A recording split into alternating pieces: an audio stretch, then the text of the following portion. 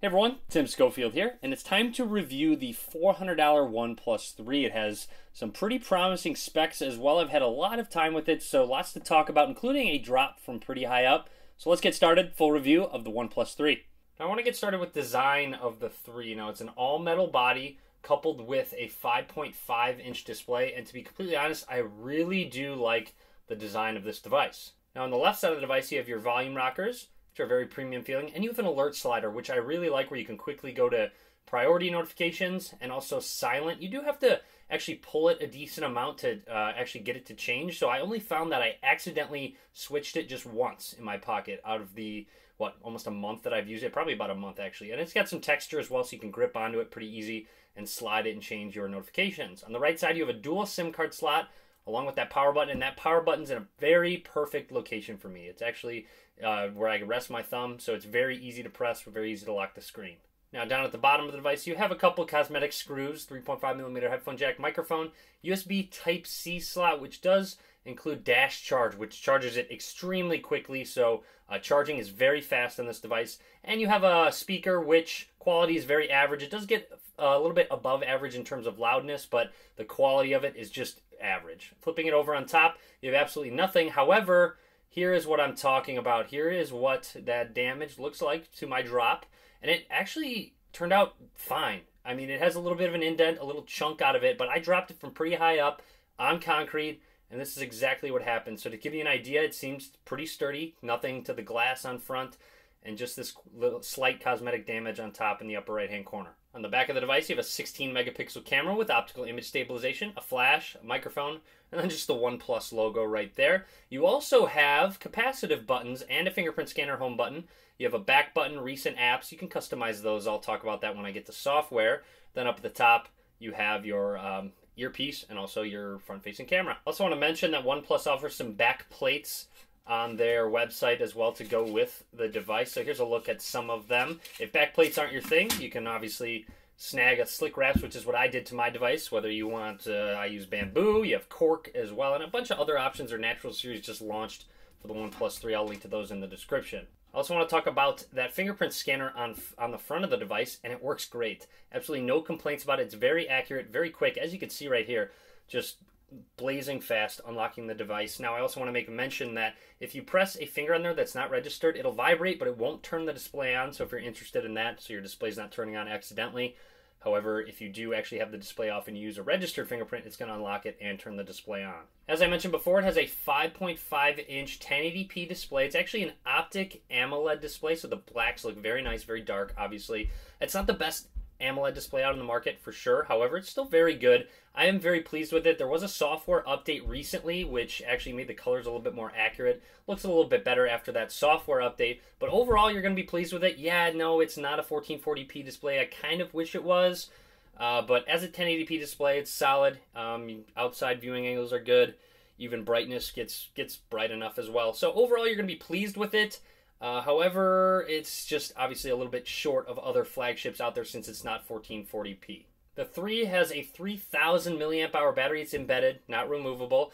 And here are some screenshots of my screen on time. You got 4 hours 35, 4 hours in 1, 4 hours in 5, 4 hours in 12. You see it's pretty consistent 4 hours in 38, 4.5. So overall, I get above four hours screen on time, maybe maybe about four hours and 15 minutes average. So it is solid battery life. Um, it's a little bit above average for me. I usually get about four hours as an average. So above that, it gets me through the day. Dash charge is great as well. It's a great addition. You can plug it in for 15 minutes and have a solid amount of charge. So battery life is not a complaint of mine. However, I do want to make note that with a 1080p display, I wish battery life was even a little bit better. Uh, hopefully, they can utilize the display a little bit better in the near future, and uh, battery life actually will get better. Moving along, let's talk about that 16 megapixel rear camera, which does have optical image stabilization.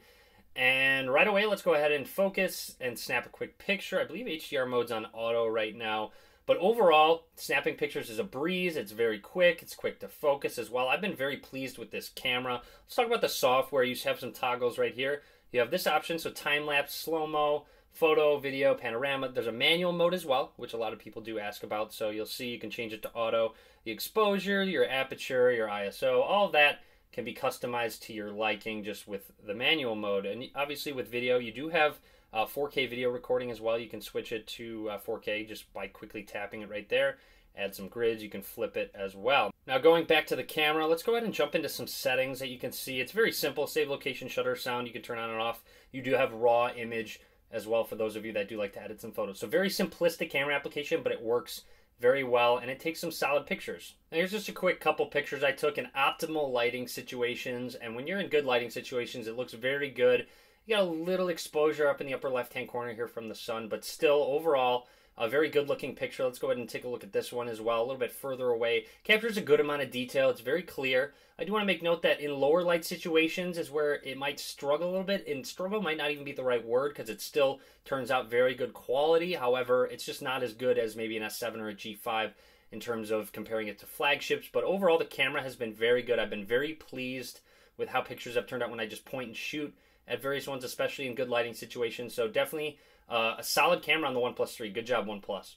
All right, now I want to move on to one of my favorite parts of this device, and that would be the software, believe it or not. Uh, they have done a very good job with their Oxygen OS. I'm going to jump into settings, scroll down, go to About Phone. You'll see it's on Android 6.0.1, Marshmallow, the latest, uh, the latest version of Android, I should say. And like I said, they do have Oxygen OS skin, but it looks very similar to stock. Yes, you have some theme options, and this is a great one. You have a dark theme or a dark mode, I guess. When you go into settings, you'll see the pull down bars dark as well. Uh, overall, a great customization option. Oops, I didn't actually mean to do that. And you can change the accent color if you want a specific one. Dark mode's enabled. Uh, you can change your LED notifications and your status bar. If you don't want your Wi-Fi icon to show up, you can go ahead and enable or disable that if you want to declutter your uh, your icons up there at the top. Now, along with dark mode, as I mentioned, that pull down bar is a bit different in terms of if there's no notifications like I don't have now, it goes straight to all of your toggles, which is a great addition because, of course, if you don't have any notifications, you want to go to your toggles. That's why you're pulling down your notification bar, and it does just that. There's also a great night mode enabled, which gets rid of any of that uh, cooler lighting and it makes everything more warm and easier on your eyes, which I will turn on almost at night every single time. Jumping back into settings, you can also customize your buttons down here, your capacitive buttons. You can actually have on-screen buttons as well if you'd like. So if you're someone that wants on-screen buttons, you can go ahead and turn those on. I have them swapped, so recent and backs back button is swapped. I actually like the back button in the bottom right. I might be in the minority there, but that's just me. Uh, backlight, and then of course you have some actions as well. If you long press a specific button, or double tap them, you can have them do specific actions such as voice search, open shelf, last use app, which makes it easier to actually multitask as well. And then pressing that recent apps button is where you can multitask. You can lock specific apps, press an X, you have a clear all button and a settings button as well. I'd like to talk about the launcher that comes with the device. Very similar to stock Android, you do have a vertical scrolling app drawer like so. However, they added something called Shelf which gives you some uh, weather information. You have a quick memo option, which is always nice to have. Just type a quick memo, some recent apps. Frequent contacts, I turn that off just for privacy reasons. Then you can also add some widgets, and they're scrollable, as you can see. So you have a weather widget right here. You can actually swipe over to have show weather, use Celsius, or refresh weather as well. So Shelf's a nice option to have if you like their OnePlus launcher. And one more thing I really like about the OS is the gestures that you can customize. You have double tap to wake, open camera, flashlight, and music control. I really don't use the camera or music control option. However, double tap to wake and flashlight I use pretty often. Double tap to wake works pretty well. Occasionally you'll tap it and it won't turn on. However, the flashlight is a great option. A V and it turns on that back LED light. And you can press type of V again on the display, and you don't even have to turn your display on to toggle that flashlight. A really great option. I'll just be walking in the dark and I can quickly turn on the flashlight on and off. Now let's go ahead and talk about performance and some specs. Now it has the latest Snapdragon 820 processor, which I have been very pleased with on every device I've used it. So if that gives you any indication, performance has been very good. It has the Adreno 530 uh, GPU as well, coupled with six gigabytes of RAM. The first device I have used was six gigabytes of RAM. And in terms of RAM management, it struggled a little bit to start.